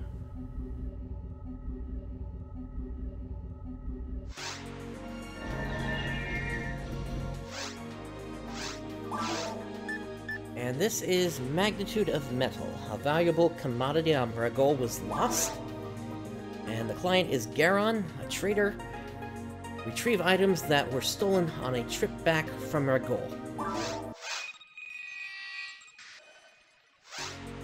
Uh, yes, Rooks. Uh, if you were a force, you could only use frames, uh, while if you're a hunter or a ranger, you could use both frames and armor. Uh, and there were also certain specifically named items or, or, armors that you could uh, you could only wear as certain classes, uh, and even as certain races. Uh, are you a, are you the ranger from the guild? I'm Garon, a trader. I want you to go down to Ragol and retrieve my lost items. It's really important. A business opportunity the likes of which no one has seen before. I'm sure I'll become a zillionaire when I get it all back. That useless ranger said that an android took them. Find that android and get back my items, understand? If you need any more info, ask the stupid incompetent ranger.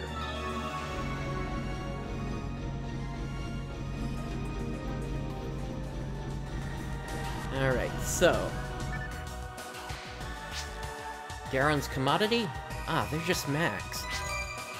Garon happened to find out that mags could be found on the ground. He asked me to collect some for him. I accepted it uh, for Meseta. I collected enough mags on Ragol to make everyone happy, but then I thought about the mags and the hunters who used them before. Mags are just protectors invented by a scientist. But we're given one when we become hunters. It's kind of tradition. Mags are an essential piece of equipment for hunters, right? When I was thinking this, an android appeared, and it was right, though. Garon shouldn't use them to get Meseta. Uh, yes, uh, Rooks, uh, from, uh, from item boxes specifically, if I remember correctly. The Hunters Guild. We generally call all hunters, rangers, and fo forces just hunters. The guild is a place for hunters to get a lot of information. They also assist hunters by finding jobs at the counter. They aren't part of the government, they're totally independent. They have total extraterritoriality. Extra territoriality inside the guild.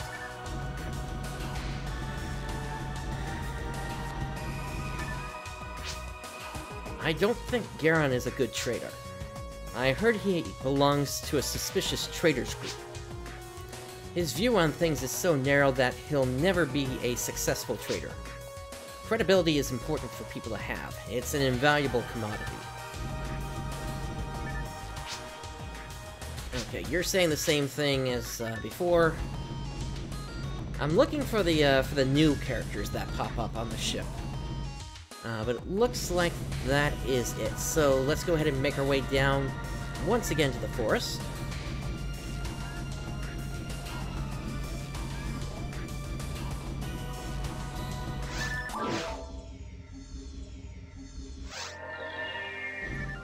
So for once we are starting in a uh, different spot here.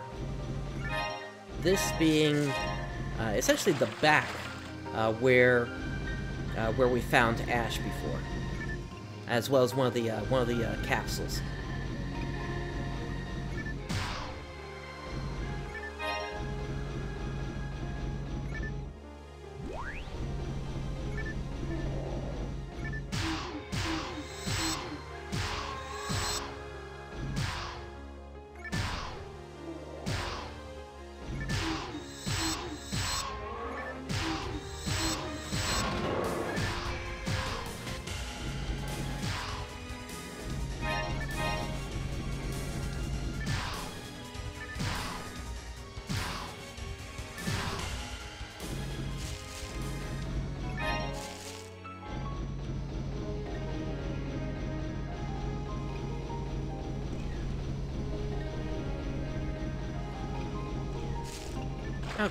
So I see somebody up on the hill over there, uh, but because of how the game is designed, we actually can't just simply climb a hill and jump up.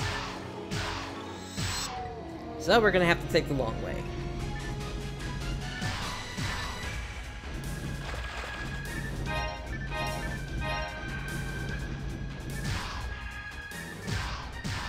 I mean, I'm pretty much giving Sega all the breaks I can here. I mean, this Phantasy Star Online was the first console online role-playing game. They had quite a feat uh, that they achieved uh, through uh, through this game here. And what made it all possible was a couple of things. First, uh, the fact that pretty much anybody that uh, owned a uh, Dreamcast was given a modem built into it. For uh, Japan, they uh, started with 33.6 uh, kilobit uh, per second baud modems, uh, and then eventually, I think it was a 54 kilobit version was released. And in the West, we just started with the 54 kilobit version. one of the very nice things about Phantasy Star Online, though, is outside of when you need to patch up you could play Blue Burst on just a regular modem. You did not need a broadband adapter for it. And that's kind of both a good thing and a bad thing at the same time, because the game itself uh, is run mostly by the client. The server is there to help facilitate uh, things such as uh, getting other players into your game and such, but the monsters that you're going to see on your screen are going to be unique to your game essentially. And that kind of causes an issue uh, when it comes to online play, in that monsters that you see on your screen in one spot may not be in the same spot for other players. Uh, and as I was looking to do this series originally, I was hoping to have uh, three other players with me uh, and basically do a split screen uh, with them. But I learned about this fact as I was trying to do that research, and I realized that that just simply was not going to work. The only version of the game where I would actually be able to effectively do a split screen is the GameCube version, where you could have up to four players at the same time. But if we went with that, I wouldn't be able to do it in widescreen like this, and the split screen itself would cause the menus and everything like that to essentially be very minimized. Um, plus, you were kind of restricted to just kind of standard runs, if I remember correctly. There might have been some quests that you could do, um, and in fact, I think you could do challenge quests with it as well, and battle quests. Um, but beyond that, um, you were kind of limited on what you could uh, actually do. Uh, anyway, let's speak to this uh, seal here. Well, one's still missing. I was surprised. Ah, excuse me, have you seen a mag around here? Uh, I'm looking for it. What? You came here to retrieve mags? No, no, I didn't mean to take them from the ranger. But they all looked so sad, so I just started talking to them. And they looked very happy. I just wanted to say hello. But they all wanted to come with me, and they chased after me. Then everyone returned to their master's place. They aren't here now. Only one mag was saying that it would come with me, but it disappeared. Sorry about that. Are you going to look for it? Let me join you. Maybe it didn't stray too far from me. By the way, I'm Elenor. Elenor Camuel. I'm an android.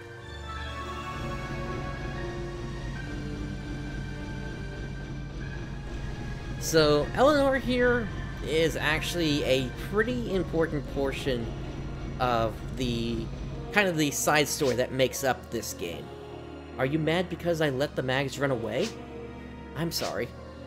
But please listen, I don't know if you're aware of this, but mags are intelligent. When a hunter equips a mag, it recognizes him or her as its master. Some mags are clever. They can protect or heal their masters.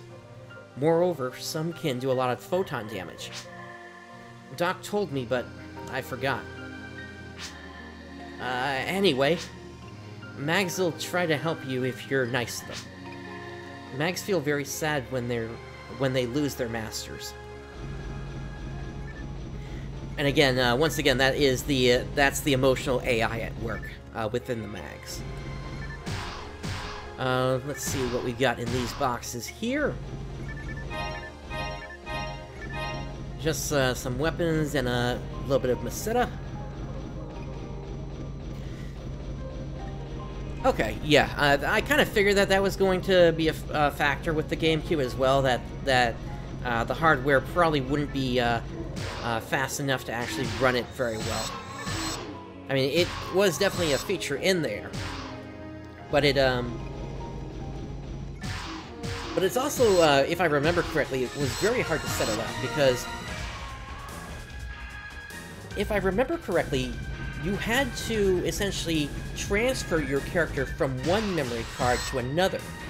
And you had to repeat that step for all the players before you could even start up the split screen mode. And then, of course, uh, each player needed their own controller. Um,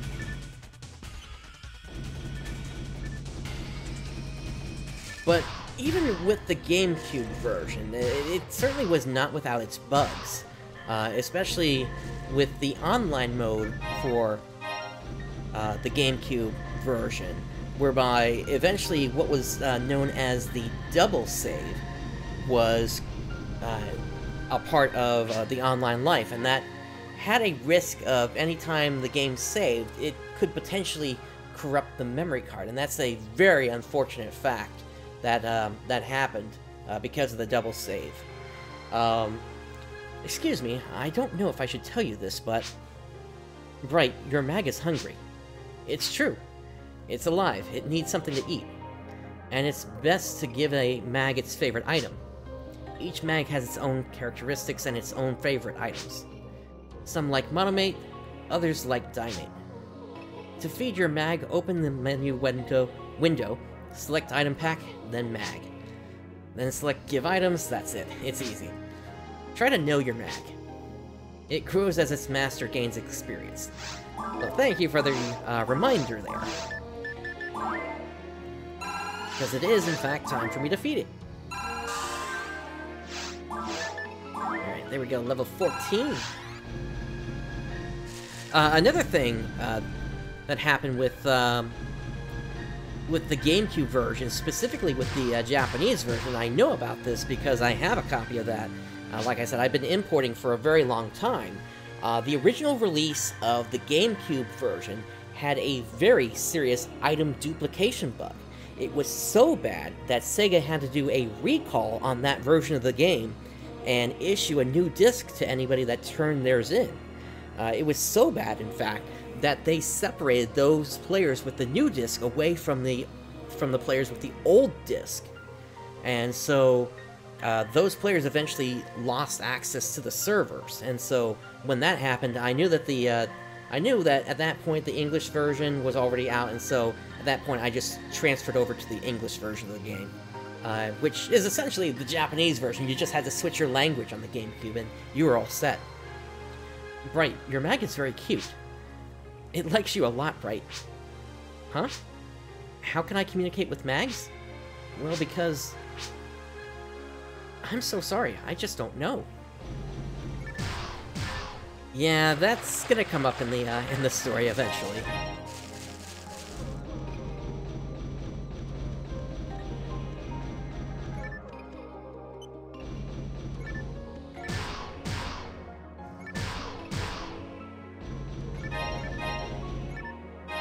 Um, and the uh, the thing with um, switching to the English language, uh, that also worked for the Japanese version of version 2 as well.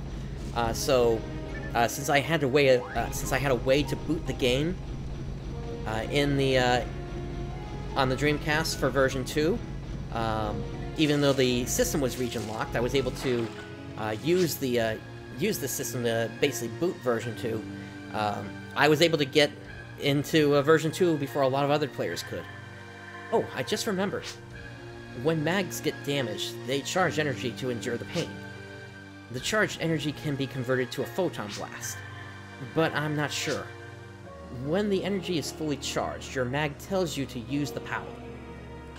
And uh, so that's what happens uh, when it fills up to 100%. Right now I'm at 19%, uh, and it'll give you that ding sound when it's time.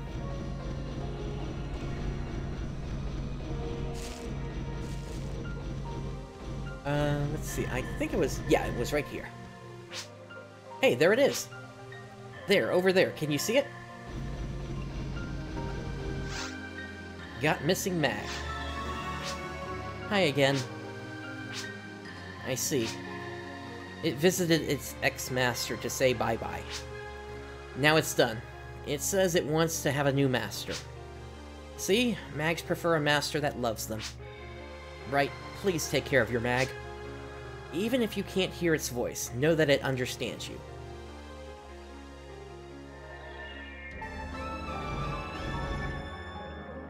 Okay, mags are good partners for uh, to hunters. I know my mag. I can feel my mag because I'm very close to it. Hmm. And just where is your mag, huh? Alright, let's make our way back up to Pioneer 2.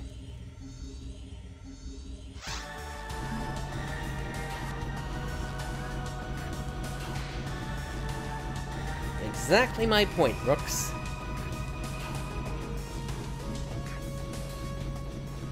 Alright, so let's sell what we can.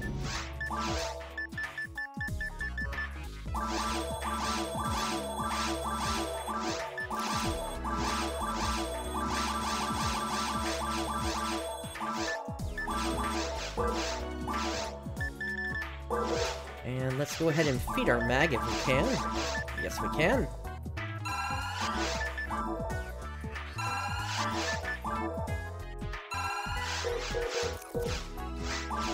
And let us stock up again, once again, on antidotes. Uh, one thing about um, the uh, techniques in this game, if you're looking for healing techniques, um, the first time you'll be able to start using them and being able to heal other players is at level 3, so uh, you would definitely want to get Resta level 3 if you're playing uh, a non-android character. Anything new here? Uh, they do actually have a dim rifle, which is a weapon that can uh, strike an enemy down with one hit, uh, but that has a, uh, low rate of accuracy on it, so I'm not going to go with that. And still no units, so that will happen eventually. Let's make our way back over to the client.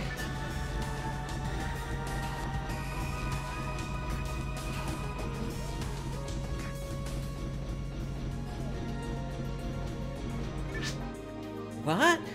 This is the only one?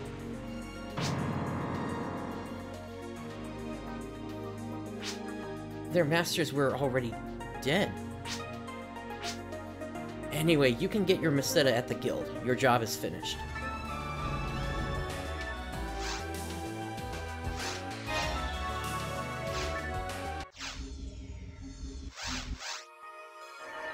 Uh, M8 top three. That is a bit of a loaded question. Let me think for a moment here. So there's the four original Phantasy Star games, plus the two Game Gear games. That's six, plus eight for the text adventures. That's uh, that's 14. Phantasy Star Online. Phantasy Star Online. I need a calculator for this. Bear with me for a moment here. so 14 plus, let's see, 1, 2 versions plus episode 1 and 2 plus Blue Burst plus episode 3, that's another 5. And then there were the two Phantasy Star Universe games, plus the three PSP games. And then Phantasy Star Online 2. And Phantasy Star Nova, plus Phantasy Star Online 2S. So that comes out to 27 games in the series. Um, and I'm just counting Phantasy Star Online 2 once there because uh, it's not actually a brand new game that players had to purchase with with that. It's just it's just like another expansion, except not really because you don't typically get more content. It's more it's an episode in the story rather than it being an entire expansion pack. But anyway, so, we've gone through the first of the government missions, as well as the first set of the side story missions for Phantasy Star Online Blue Burst. Like I mentioned, this is going to be a long-running series here, because we've only just scratched the surface here today. And I've got a lot of tales to tell uh, about my history with this game. But for now, at this point, I'm going to go ahead and close things off for today. If you've enjoyed today's content, please do make sure to subscribe and click the bell so you're notified whenever I go live or whenever I do put out a new video. I also have a Discord, link to that is in the description below. Uh, whenever I go live or whenever there is a new video, I also put a notification in there as well. And, uh, uh, Chris, yes, uh, I do, uh, or Dragon rather, uh, I do have plans to do episode 3 as well, but let's kind of get through Blue Burst first here. Thank you for joining me today. This is Prince Brightstar signing off. I'll catch you next time.